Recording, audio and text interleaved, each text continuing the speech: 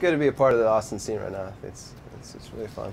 Yeah, I, most exciting time in Austin there, there's ever been as far as food goes. You know. I really think that. It's like a renaissance. Yeah, it keeps growing every year, and it's just nice to have a slew of restaurants opening. You know, even this year, there's so many that have started just with Elizabeth Street, and mm-hmm. you know, many things that are to come. So, it's a fun place to be right now for food. And they're all quality too, aren't they? Yeah, I mean, I we travel a lot and a lot of cities that I eat in, and um, coming to Austin, it always seems like it's just pretty spot on. People just, I think, care so much here for what little that they have, since it's a hard place to grow. Um, you can go to Napa and you can go to all these amazing places where you're, you know, slipping on figs and kicking apples on your way to work.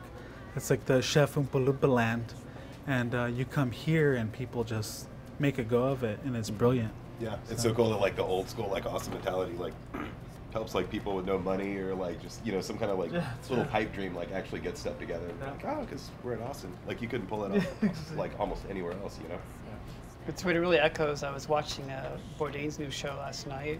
What, I can't remember what it's called. Layover. Yeah, he was in San Francisco, and I, I think there's a lot of similarities with what Austin's becoming and what San Francisco already is. You know, whereas it's that mentality and pop-ups and startups and trailers, and it's so cool. You And know, it's the local and it's the it's the community support and the, the social side that helps that helps mm-hmm. the pipe dreams come true. yeah, and the vibrancy of the community. You know, it's a young city.